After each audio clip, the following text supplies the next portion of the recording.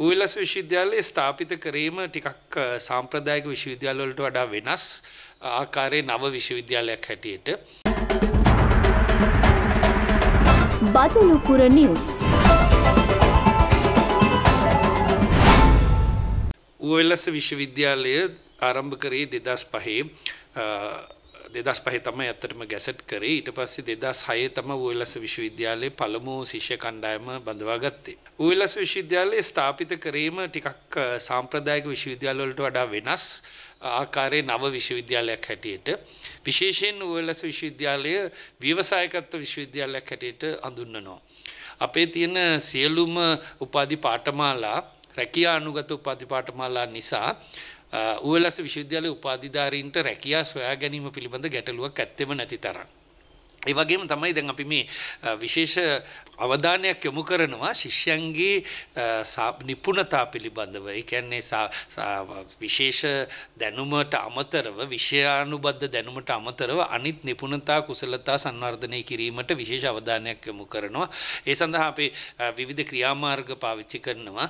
එකක් තමයි අපි ශිෂ්‍යයන්ට නිබන්ධන ලබා දෙනවා පෞද්ගලික සහ කණ්ඩායම් නිබන්ධන විශාල ප්‍රමාණයක් මේ අවුරුදු හතරේ පාඨමාලාව ඇතුළත ඇතුළත ලබා දෙන අතරම නිබන්ධන කියන්නේ පැවරුම් ඒ පැවරුම් වලින් පස්සේ ඒ අයට සිද්ධ වෙනවා ඉදිරිපත් කරන්න. මෙතනදී අර සාමාන්‍ය නිපුණතා මුරුදු නිපුණතා soft skills කියන ටික ශිෂ්‍යයන්ගේ විශේෂයෙන් වර්ධනය වෙනවා. මේක තමයි ඌවලස විශ්වවිද්‍යාලයේ තියෙන සුවිශේෂී ලක්ෂණ කිහිපයක්. මේ 2006 පටන් අරගෙන දැන් 12 වෙනි ශිෂ්‍ය පරම්පරාව මේ මේ අවුරුද්දේ ලබන ජනවාරි 27 වෙනිදා උපාධි ලබනවා. මේදී විශේෂත්වයක් තමයි මෙවර උපාධි ප්‍රදාන උත්සවයේදී විද්‍යාපති නැත්නම් එම්ෆිල් උපාධිධාරීන් 8 දෙනෙක් මෙවර උපාධි ලබනවා. අපේ දැන් මේ වෙනකොට විශ්වවිද්‍යාලයේ පර්යේෂණ කටයුතු සෑහෙන දියුණුවක් ලැබලා තියෙනවා. අපි එම්ෆිල් නැත්නම් විද්‍යාපති උපාධි අපේක්ෂකයන් වගේම ආචාර්ය නැත්නම් PhD උපාධි අපේක්ෂකයන් දෙන්නෙකුත් ඉන්නවා. අපේ ඒ පර්යේෂණ පැත්ත සෑහෙන දියුණුවක් ලැබලා තියෙනවා. මේ තියෙන්නේ දොළොස්වෙනි උපාධිපදාන උත්සවය වලස විශ්වවිද්‍යාලයේ මෙවර ශිෂ්‍යයන් 700කට වැඩි පිරිසක් උපාධි ලබනවා. උපාධි ප්‍රදාන උත්සවය පැවැත්වෙන්නේ හම්බන්තොට MRICC සම්මන්ත්‍රණ ශාලාවේදී.